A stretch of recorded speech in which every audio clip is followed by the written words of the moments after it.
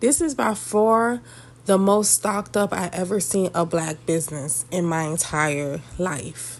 Now I'm assuming it's a black business because of the vibe and the fact that the young lady that was working there who was black said that her father who I needed to chop up a meat, he wasn't there. So I'm just assuming they owned the place.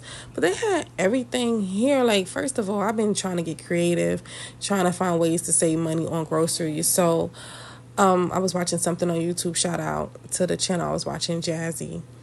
And she went to the meat market, and I was like, you know what? I haven't been to a meat market in so long. I was showing, I was showing y'all how big those items were, but and I was like, let me just check it out to see what kind of deals they had. And yes, I didn't buy nothing because, like I said, I needed him to chop up the oxtail. So I will be back with my little bit of food stamps. Y'all, I only get like $40. If I had my old food stamps, I would go crazy. I used to get like almost four hundred dollars. I used I would go crazy in this store.